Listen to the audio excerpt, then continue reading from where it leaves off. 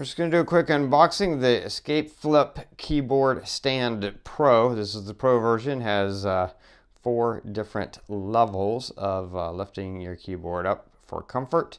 Um, this works for just about any keyboard. I'm going to be using it on the Apple Magic keyboard with numerical pad um, and it does extend out. Um, you can kind of see here the different how it extends for custom fit. It's got the sticky gel on the bottom to, uh, to stay put um, and those are your instructions on how to put it on and there you go. That's all in the back there. So let's open this guy up and take a look at what comes inside the box.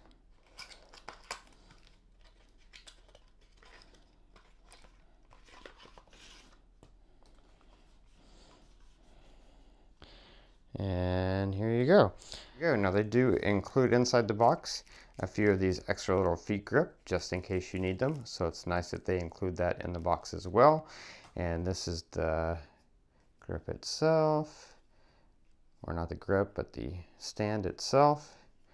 And it extends. You've got your gel pads here to make sure it stays put to your keyboard. I've got to read the instructions so I know how to extend it. Um, but here are your different levels. You can see you've got these different levels.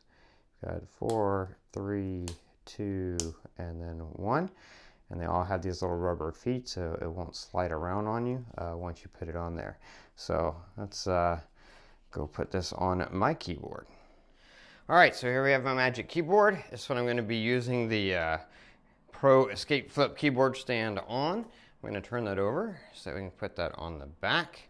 And uh, this is the stand.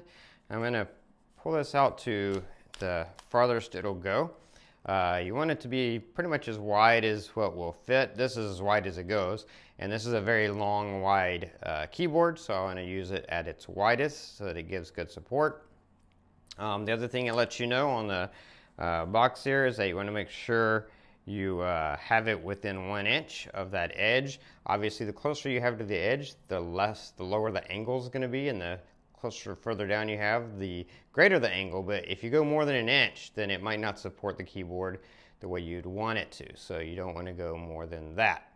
Uh, so I'm going to uh, kind of align it and position it right by where these feet, little rubber feet are here.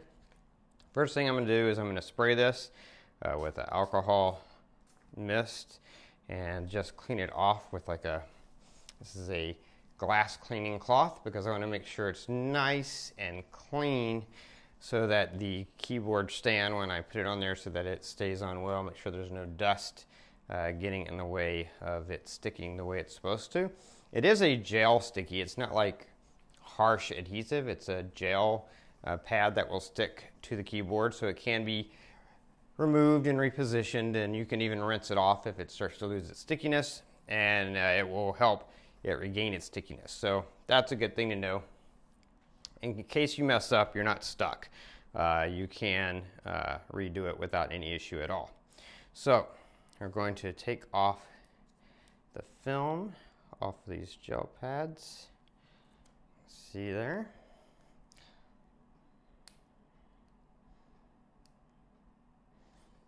Now it's going to be a little tricky for me because I'm doing this around a camera. So if I bump the camera, I apologize in advance. I'm going to try not to do that. Just want to make sure that I get it lined up just right. I think that's where I wanted it. And then push that pad down.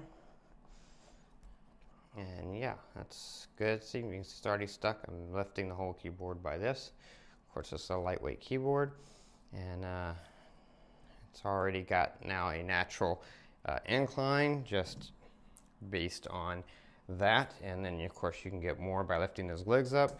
So now I'm going to go uh, put it in use with my uh, computer, and uh, we'll check it out, and I'll do my final review. Okay, so I have uh, been using the flip keyboard stand and uh, this is it. This is it on my keyboard. Um, I'm using it at the lowest, as you can see. I just have all the stands pushed down. It's the angle that I like.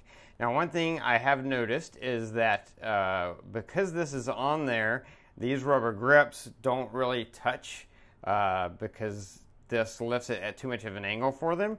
So that's why I have this uh, mouse pad underneath here. So I have this mouse pad uh, so that the front sits on that. And the back is still lifted up. It's still at an angle. That front being on there just gives it something. So if I didn't have that, I would probably have to get some type of additional uh, maybe rubber things to go on here to make this a little bit more rounded and thicker so that it would grip on the front. So that's just something to be aware of. Um, if I was doing this at a steeper angle, that might be less of an issue. Uh, I don't know. It's hard to tell.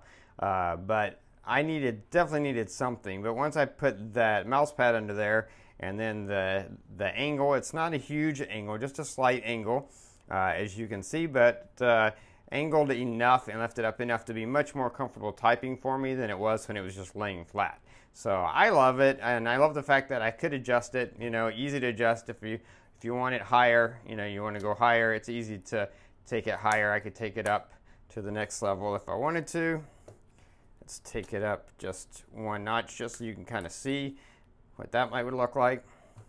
So that's at a much steeper angle, and uh, uh, again, still uh, have that mouse pad under there, but uh, maybe you wouldn't need that at this angle. But yeah, I just think it's much more comfortable to type like this with the keyboard a little bit of angle. And this gives you that angle. And I love the fact that you have so many different angles to choose from with this particular uh, attachment. So works really great for the Magic Keyboard or any keyboard and uh, definitely a product that I would recommend.